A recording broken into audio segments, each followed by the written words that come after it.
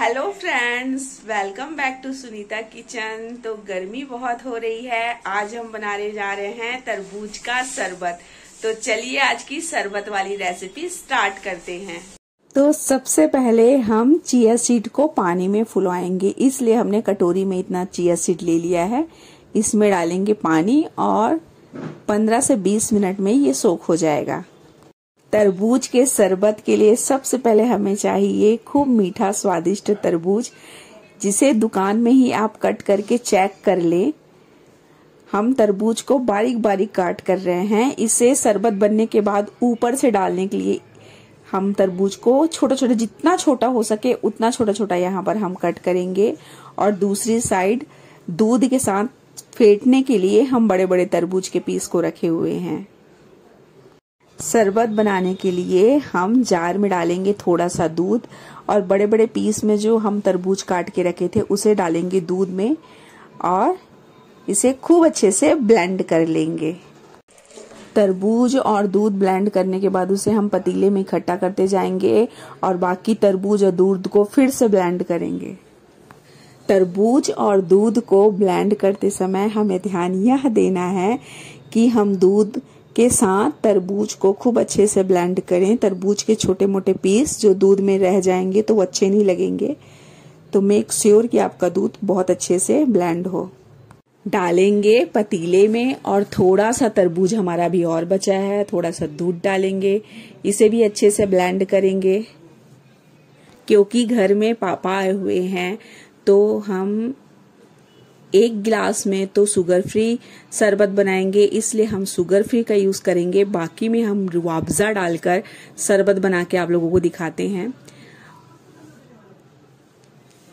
जितने भी हम तरबूज के छोटे छोटे पीस हम काट के रखे थे, पूरे शरबत में हम अच्छे से मिलाएँगे।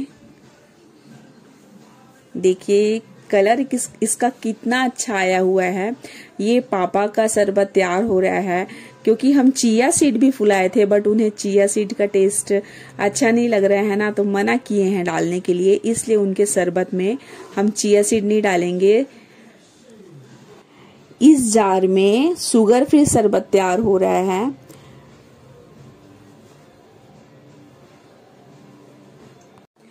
डालेंगे शुगर फ्री तो हम यहाँ पर पिसा हुआ शुगर फ्री का डब्बा है, दो चम्मच शुगर फ्री डालेंगे।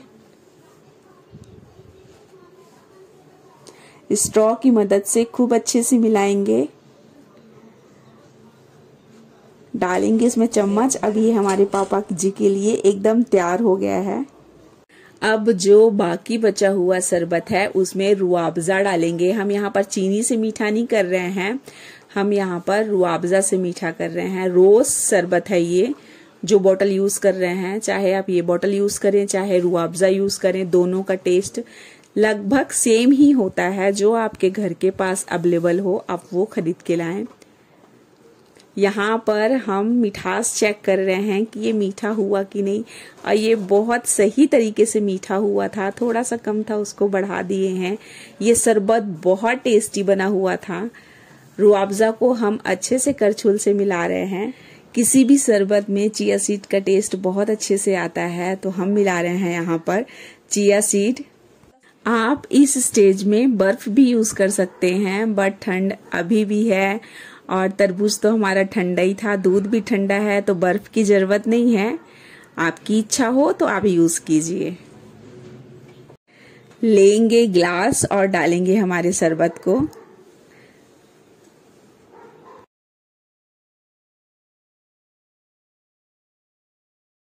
एक बार तरबूज और दूध का इस तरीके का शरबत ज़रूर बनाइए, दिल दिमाग दोनों तरोताजा हो जाता है।